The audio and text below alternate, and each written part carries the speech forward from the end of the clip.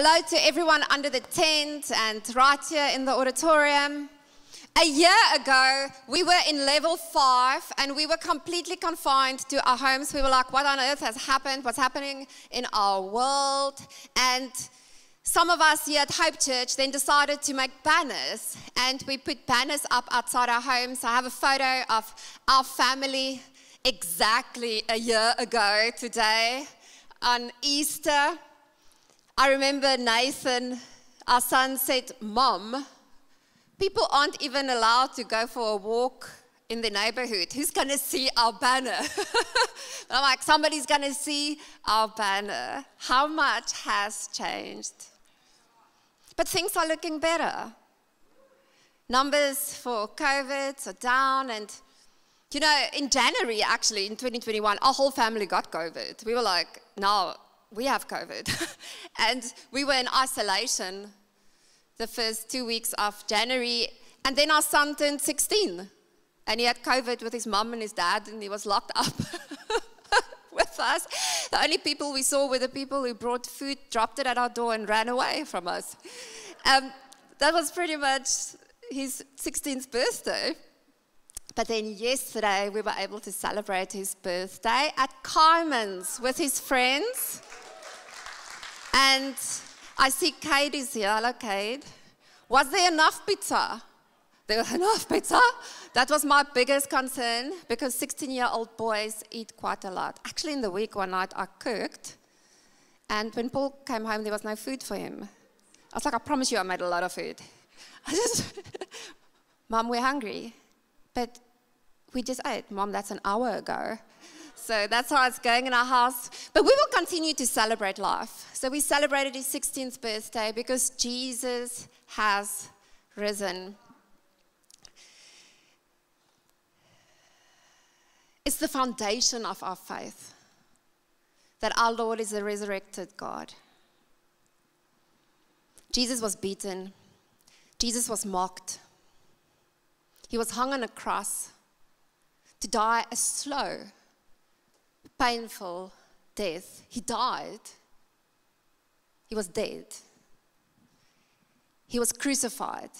And they took his body off the cross and they laid his body in a tomb and they rolled a big stone in front of us and even put guards there. All hope was lost. His friends scattered. But heaven started to count to three. And on the third day, his buried body started to breathe, and the ground began to shake. Death could not hold him down, and he rose, and he rose victoriously. And when Jesus walked out of that tomb, the word impossible was erased from our vocabularies forever. Nothing is impossible for him.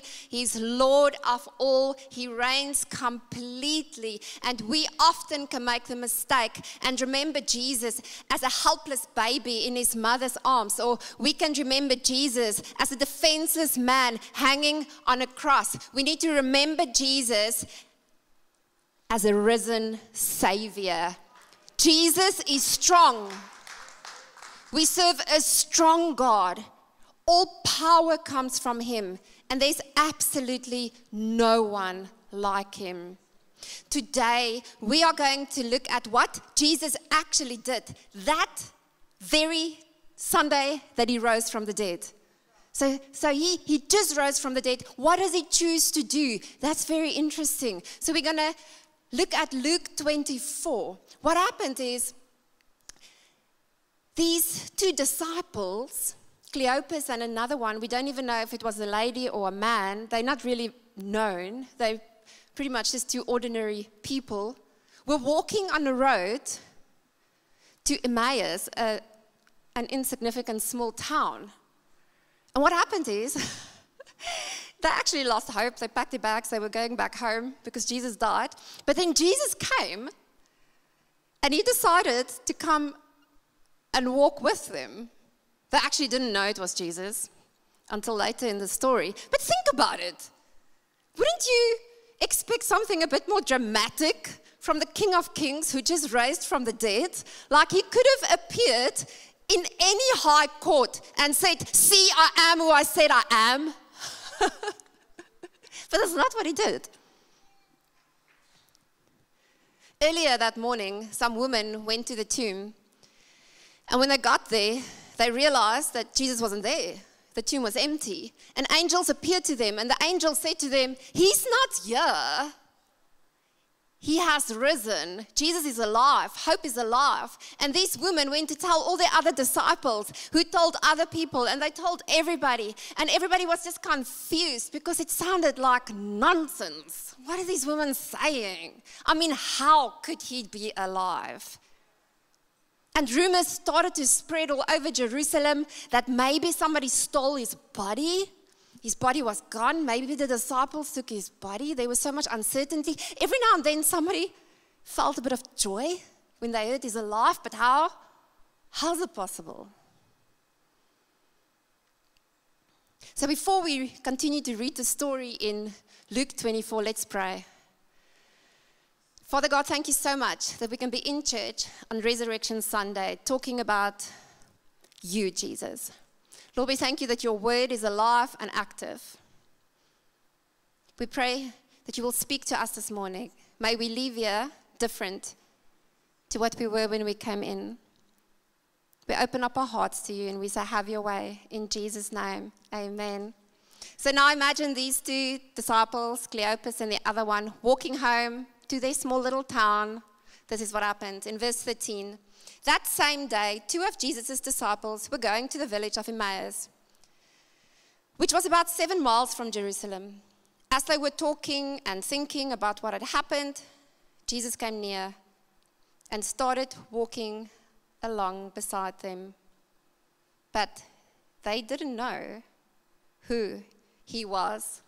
Just like everyone else on that day, people were talking about Jesus and everything that has happened.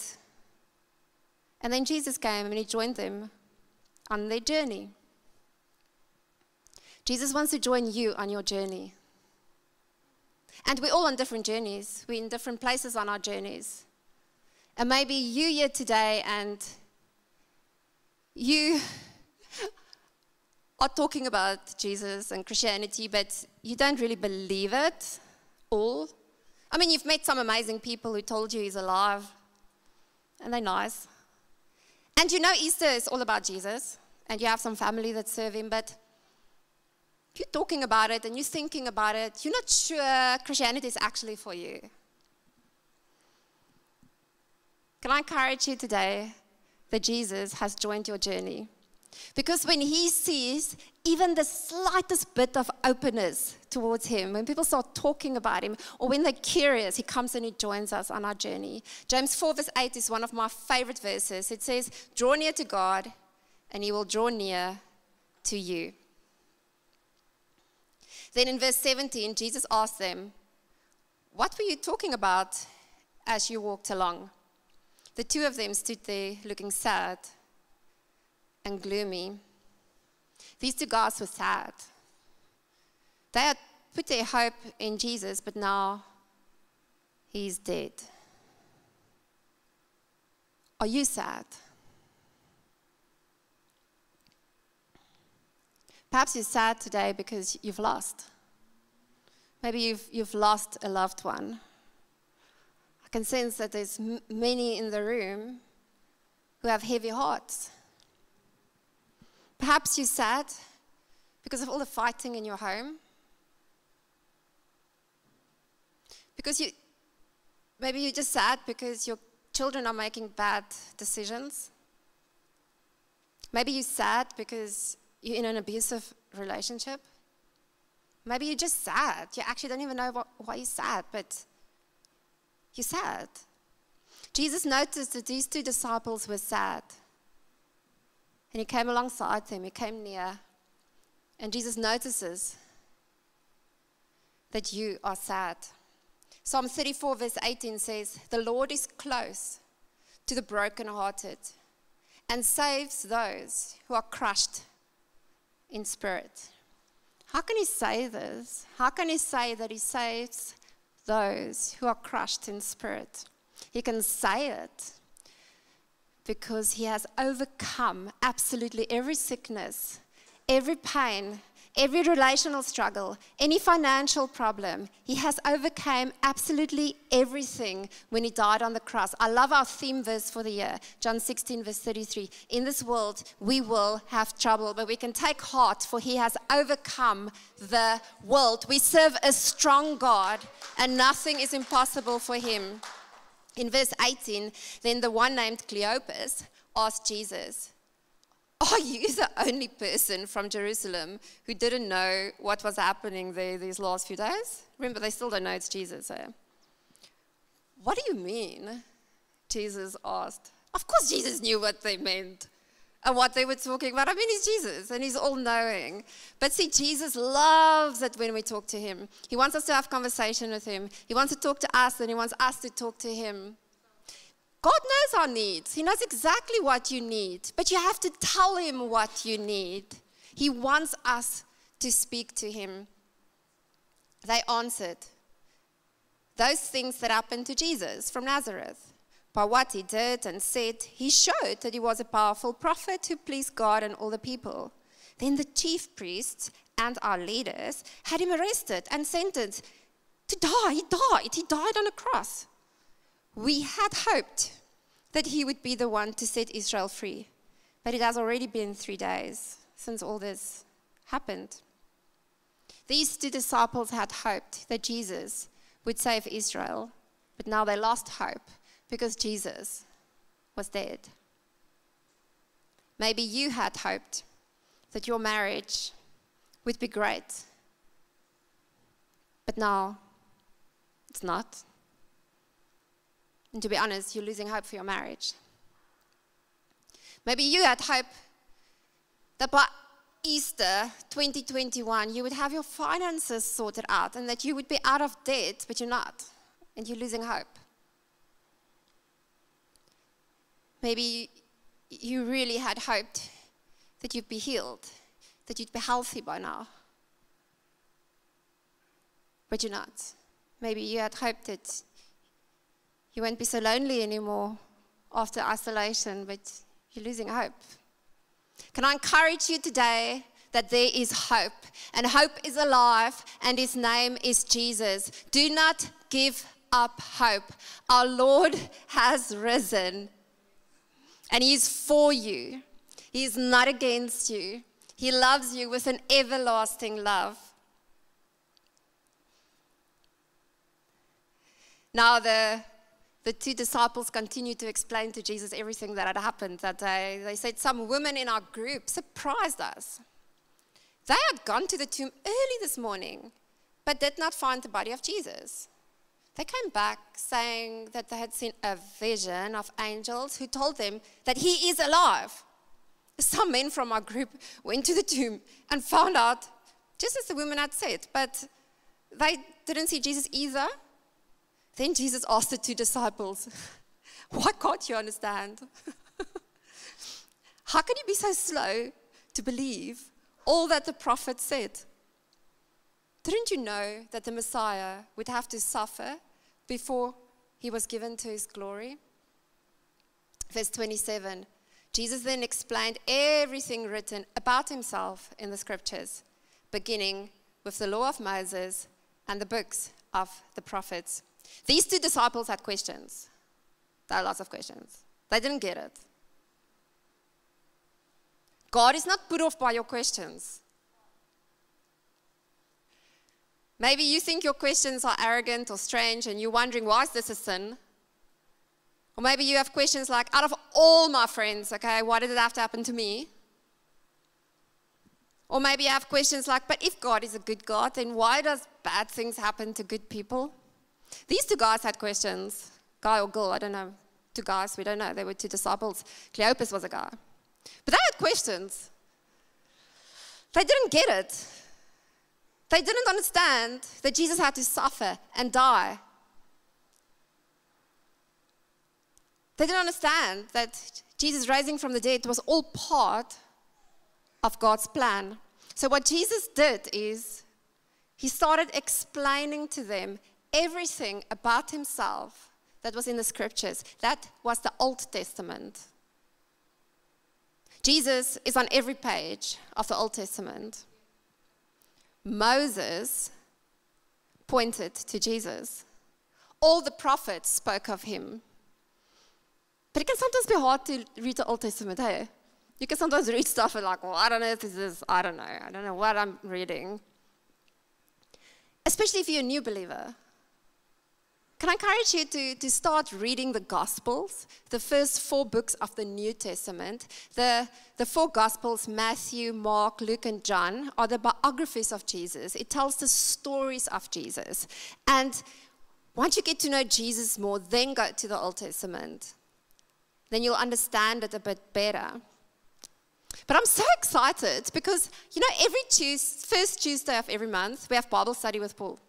Every single first Tuesday. This Tuesday is Bible study with Paul, and Paul is going to do Jesus in the Old Testament. Isn't that exciting? Are you coming? It's going to be on YouTube and on Facebook. So, not in person, but on YouTube and on Facebook. Lean in. It's going to be good. You're going to absolutely enjoy it. Verse 28. When the two of them came near the village where they were going, Jesus seemed to be going farther. They begged him, Stay with us. It's already late, and the sun is going down. So Jesus went into the house to stay with them. Jesus sort of pretended to, to, to, to continue, and they're like, No, Jesus, come with us. And Jesus went with them. Jesus wants you to invite him. Jesus wants you to invite him into your life, and he wants you to invite him into every aspect of your life. He wants to be part of your life, but you have to invite him in. Why? I mean, he is King of Kings, he is Lord of Lords. He can command that we all follow him. At the sound of his name, we could all just let him in, but love doesn't control. And God is love, and he's a gentleman. And what does he do? He waits for us to invite him in. Revelations 3, verse 20 says, Look, I stand at the door and knock. He's waiting. If you hear my voice and open the door, I will come in and we will share a meal together as friends. Doesn't matter who you are, doesn't matter where you've been, it doesn't matter what you've done, it doesn't matter what's been done to you. Grace is for everyone. That's why Jesus died, so that you could make it possible for you to come to Him. In verse 30, after Jesus sat down to eat, he took some bread and blessed it and broke it then he gave it to them. Jesus was a guest, right? They invited him to their house. So why is Jesus now serving the bread? Huh? Shouldn't they have been taking the bread and breaking it and giving it to Jesus? When Jesus comes into our lives, he starts to lead. He's our leader, and he's a servant leader. But he's a strong leader. But he laid down his life for us. And here at Hope Church, we have a value that says we are servant leaders. It's one of our values servant leadership.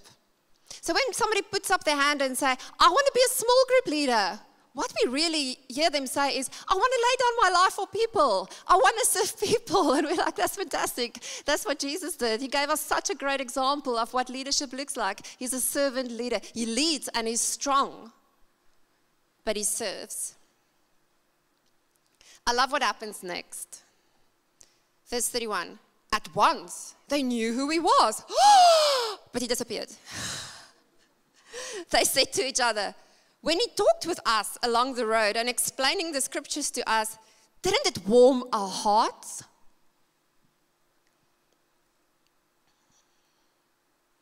When the two disciples took bread, when they shared communion together, when they broke bread, God opened up their hearts and He revealed to them that it's Him. Communion is powerful. We remember Jesus when we take communion together. Jesus wants to reveal Himself to you.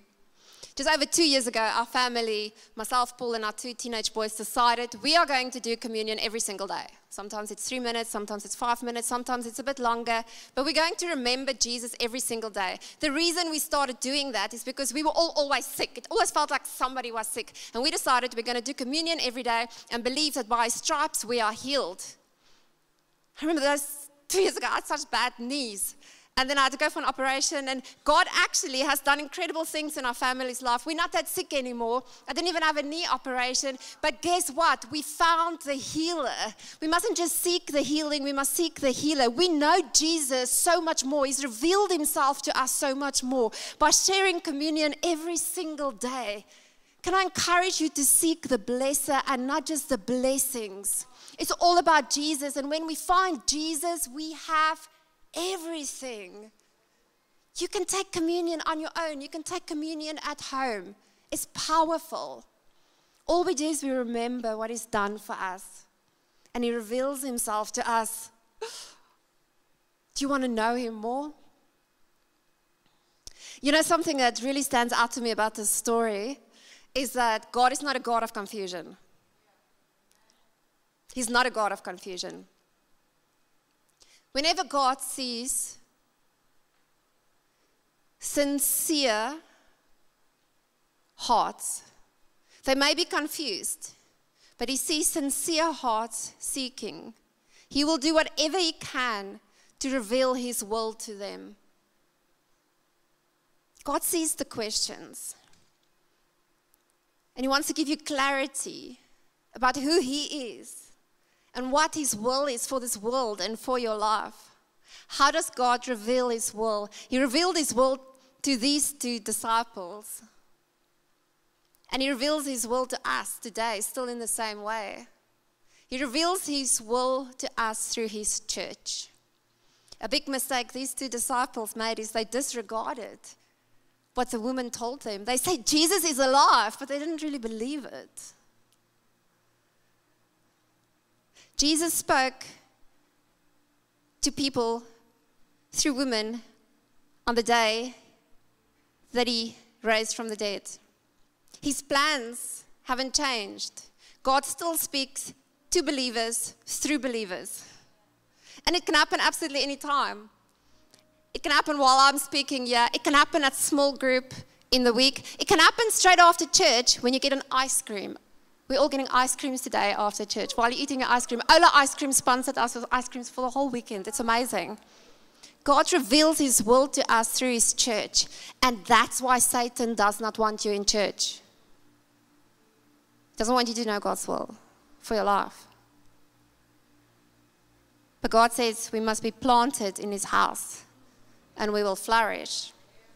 God also reveals his will to us through his word the Bible, hey, Jesus could have done absolutely anything when he rose from the dead. I, I think we all expected something a bit more dramatic, right? But he conducted a Bible study. Not to a large crowd, just to two sort of unknown people on their way to a small town. If you want to know God's will for your life, spend time in the scriptures. Spend time reading His word. Psalm 119 Verse 105 says, Your word is a lamp for my feet, a light on my path. I pray this for our sons every day. Lord, may your word be a light on their path, a lamp to their feet. May they know what your purposes are for their lives. God reveals his will for our lives when we walk with him. You need to have a personal relationship with Jesus if you want to know his will for your life because he's a personal God. And He reveals His heart and His plans and His purposes to us as individuals as we walk with Him daily, every day. You will never know God's will for your life if you just chat to Him every now and then. You need to have a close relationship with Him. He wants to talk to you, He wants you to talk to Him, He wants to do life with you. And we know God's will through the fire of God.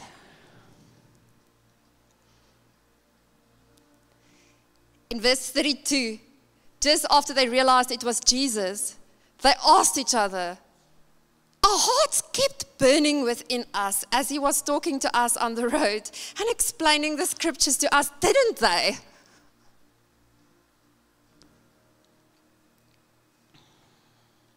God gave Jeremiah a fire for cold hearts.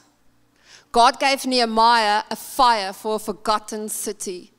God gave Abraham a fire for a land he's never even seen. God gave David a fire for the name of God. So when Goliath mocked the name of God, Goliath stood up and he fought. Has God set your heart on fire? Is it for orphans? Is it for people who have never heard about the name of Jesus? Is it for business owners? Is it for high risk senior people living in our city? Jesus wants to set your heart on fire. And to discover the flame is to discover His will. Maybe there's not even a spark in your heart at the moment. But spend time with Jesus, invite Him in, walk with Him, come to church, spend time with other believers, read His Word, and that spark will become a flame that will become a raging fire for our Lord Jesus Christ. I'm going to ask that we all stand, please. I want to pray for two groups of people here today. Perhaps you're here and you haven't yet given your life to Jesus. We want to give you an opportunity to surrender your life to Him today on Resurrection Sunday, and you'll be raised from death to life. And I want to pray for another group of people here that is saying, God, set my heart on fire. And I can know there are lots of people in this room. Across our other morning services, so many people said, Lord, I want to be on fire for you. So I'm going to ask you to close your eyes and bow your heads under the tent and in the auditorium here. If you want to give your life to Jesus today, can you raise your hand so I can just see who to include in this prayer? That's fantastic. I see your hands at the back there. More hands at the back. More hands at the back. Fantastic. So good. I see a hand in the front can take your hands down. I'm going to say a prayer. If you raise your hand, repeat this prayer after me, but the rest of us can just all pray together as well. Dear Lord Jesus, thank you for dying for me on the cross. I now give my life to you. I have decided to be your child. I am inviting you in. And I'm excited to have you on my journey. You are not king, king of my life. If you're here this morning and you want to say, God, set my heart on fire, can you raise your hand so I can see you too, including in this prayer? And so many hands are going up. Thank you, Lord Jesus. Lord Jesus, we thank you for what you've done on the cross. Thank you that you had a fire in your heart and you still have a fire in your heart for us, Lord God. Thank you that you love us so much and that your love is relentless, Lord Jesus. God, I pray for every person whose hand is raised right now, Lord, that you will reveal to them what it is you created them to do, Father God. Thank you that you have a good plan and a good purpose for every single person. We pray for everyone who's saying, Lord, set my heart on fire for you this morning, Lord. We pray that you'll speak to them. We pray that you will turn that spark into a flame, into a raging fire, Father God, and that their lives and our city and our world will never look the same again. In Jesus' name, we surrender. Have your way. Amen. Thank you so much for watching our YouTube channel. We really pray that you find it helpful in your journey. And we also really want to encourage you to take your next step by signing up to join a small group or to do discovery. Thanks again for watching and don't forget to subscribe and share this with as many people as possible. And we really can't wait to see you next Sunday.